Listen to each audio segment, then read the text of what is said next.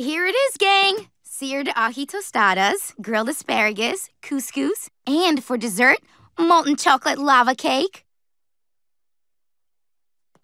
Wait a minute. Meg, when did you find the time to do all this? Oh, I had all day to do this.